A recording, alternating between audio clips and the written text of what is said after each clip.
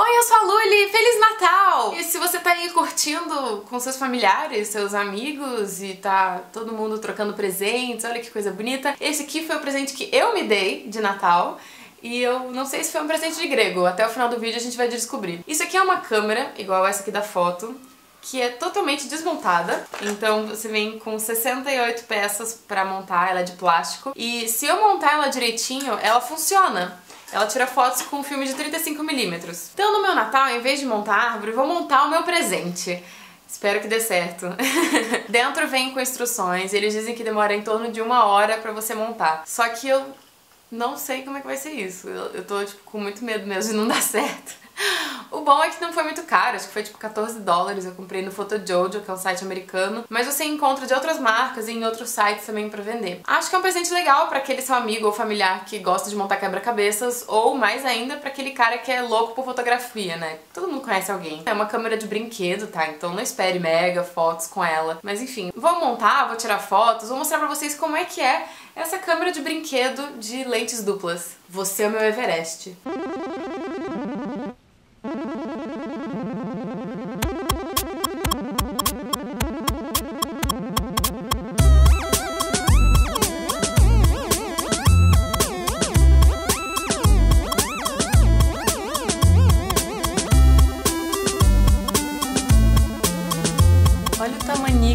Dessa mola. Eu não devia ter cortado minha unha na semana passada.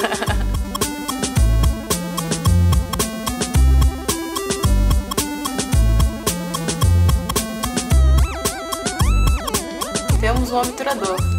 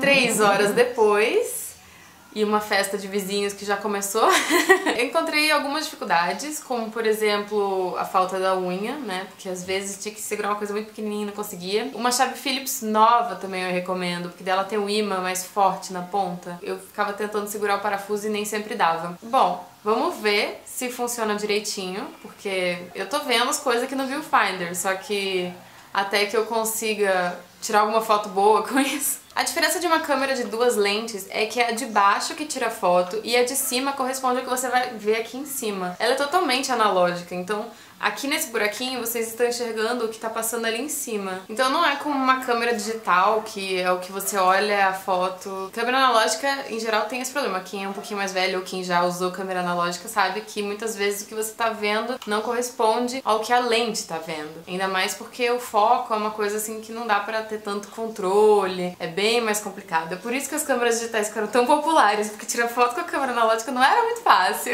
Eu comprei dois filmes, o que tá aqui dentro é 35mm ISO 400 e o outro que eu comprei é 35mm também, ISO 200. Então vou ver se alguma foto presta, vou tirar as fotos, mandar revelar e mostrar aqui pra vocês. Sobraram alguns parafusos, eu espero que isso não signifique que minha câmera vai se destruir enquanto eu tirar foto.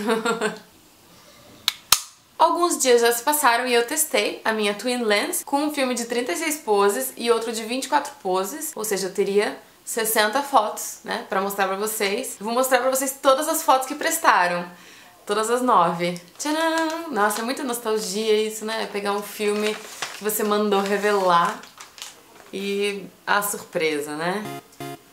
Essas daqui que estavam com enquadramento legal e que elas pegaram essa borda bonita, ficaram sem foco. E no visor parecia que elas estavam focadas.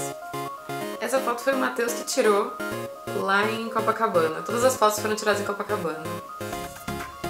Daqui nem teriam nenhuma chance, porque além de elas terem ficado pretas embaixo, elas ficaram sem foco, só dá pra ver que sou eu por causa do cabelo. e essas fotos do Matheus fui eu que tirei dele.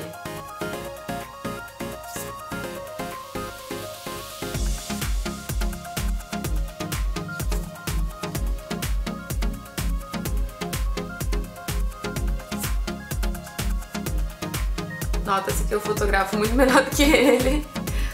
E essa foi a minha foto favorita e isso é uma dupla exposição. É uma parada que você só consegue fazer com câmeras analógicas ou então com algum aplicativo e também com o passador de filme manual, porque se for automático você não consegue. O que, que aconteceu aqui? O obturador abriu para expor para uma foto, não sei qual das duas, e eu não andei o filme. Então quando eu bati a foto de novo, o obturador expôs o filme de novo para tirar a segunda fotografia. Então ficou uma, uma mistura e ficou muito legal porque as duas fotos são dele, então ficou ele dentro dele mesmo. Foi uma, uma sorte essa foto ter ficado assim tão bonita. As outras ficaram Meh.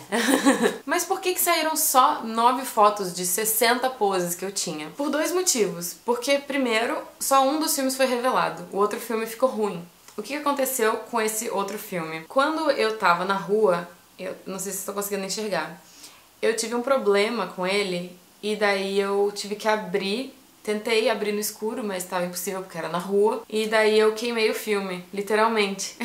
o filme ficou super exposto, mas eu fui numa loja de foto na, na hora e pedi ajuda pra uma moça que foi super gentil comigo. E ela foi num banheiro escuro que tinha na loja, elas não tinham laboratório, e daí ela rebobinou manualmente o filme. Só que ela falou que saíram pouquíssimas fotos, que é esse pedaço preto que vocês estão vendo. Foi só isso que eu tinha batido. O que aconteceu nessa vez? O filme tinha escapado do, do rolinho que rebobina ele. Então eu não tava vendo se as fotos estavam andando mesmo. E daí eu abri para tentar arrumar isso e daí ferrou tudo. Então Joguei fora o filme de 24 poses, praticamente. Tem um pedaço aqui que você consegue ver que tá queimado, e daí até aqui foi onde bateu, e esse resto todo aqui foi o que eu não tirei de foto. E das 36 fotos que tinham, quando a gente olha no negativo, tem várias fotos que não estão reveladas e que talvez pudessem ser reveladas se eu tivesse no laboratório em casa. Só que provavelmente, como os caras do laboratório são mais experientes e tal, eles saberiam que isso não ia dar em nada, que tava meio tava meio zoado.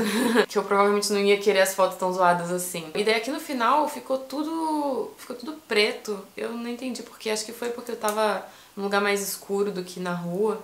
E daí foi por isso. Aí tem uma foto perdida minha aqui que foi em Botafogo.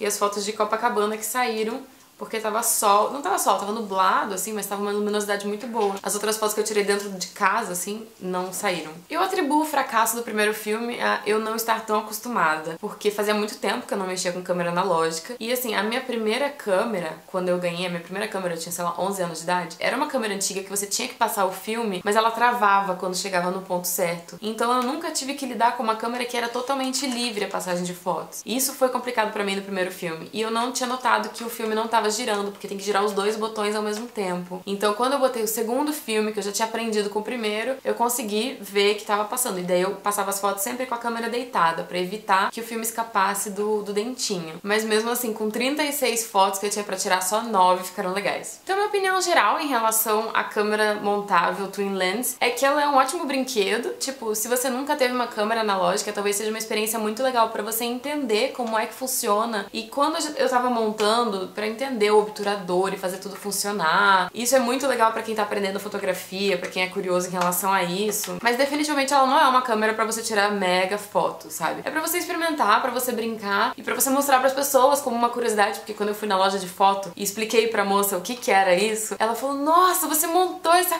câmera, meu Deus, que legal!" E ela ficou super empolgada. Então, é um brinquedo mesmo, uma coisa de você mostrar para as pessoas e, ai, olha que legal e tal. Mas as fotos não vão ficar legais. Todas elas que eu tirei ficaram sem foco a única que eu gostei, também tá sem foco, mas porque foi uma dupla exposição, ficou uma foto assim um pouco diferente, então eu gostei disso. Não é uma coisa que a gente tem acesso normalmente. Como foi baratinho esse quebra-cabeças, eu achei que valeu a pena e foi assim, uma, uma conquista pessoal. Porque quando eu tava pra gravar o vídeo, eu fiquei com medo de não conseguir montar ela, ou de montar e dar tudo errado. Mas eu consegui montar uma câmera e consegui fazer com que ela tirasse fotos. Agora, se elas ficaram boas, já é outra história. Foi uma boa diversão nessa época de Natal. Quem sabe, se você se empolgou, você faz isso no ano que vem. Em vez de montar uma árvore, monta uma câmera. Mas não tenha muitas expectativas, porque afinal de contas ela é realmente uma câmera de brinquedo. Muito obrigada por terem assistido ao vídeo de hoje. Se vocês gostaram, compartilhem. Deixe aqui embaixo seus comentários se vocês já montaram uma câmera como essa, ou se vocês já tiveram contato com câmera analógica. Compartilhem suas experiências. Eu vou deixar aqui embaixo o link também. Caso vocês queiram comprar na mesma loja que eu comprei, vem dos Estados Unidos, o frete é um pouquinho caro. Você pode encontrar em outros lugares mais barato, eu acho. Mas o que eu comprei foi da Photojojo, vou deixar o link aqui pra vocês. Se vocês gostaram do vídeo, compartilhem. Espero que vocês estejam tendo um ótimo Natal. Celebrem muito com seus amigos e familiares, abracem muito, deem muitos beijos e comam bastante. E a gente se vê na semana que vem. Até a próxima. Tchau!